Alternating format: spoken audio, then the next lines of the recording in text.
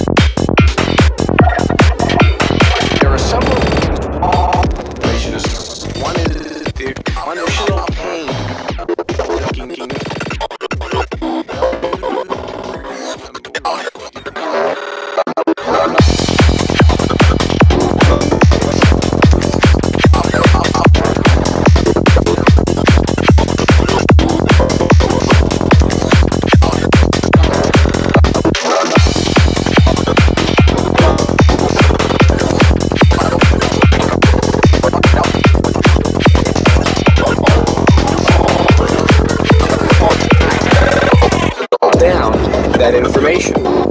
So the information is in the memory, but it is being suppressed. If you can imagine a fish hundreds of feet below the surface of the water, it's there. And once you get a hold of it, it may take a little while to pull it to the surface, but it is there. Same thing with the information that's in your memory. Now, there could be a, not only emotional pain attached to an event that's suppressing it, it could be physical pain. Physical